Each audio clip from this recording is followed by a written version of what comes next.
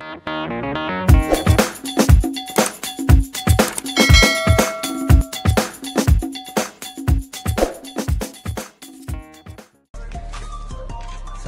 semua.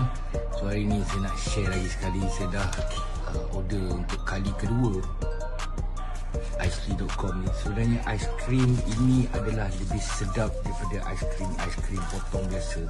Aiskrim buatan Bumi Putra dan juga buatan Malaysia dijamin halal. Anda boleh pergi ke Aisli Aisli aiskrimpotong.com. Di dalam dia mewah dengan berbagai perisa ada. Dalam satu kotak ni ada 3, 6, 9, 12, 15 untuk pengetahuan anda. Ini bukan paid review. Saya saja share dan kongsi kesedapan asli.com. Cuba okey. Bismillahirrahmanirrahim. Hmm. Sangat sedap. Purchase your tracks today.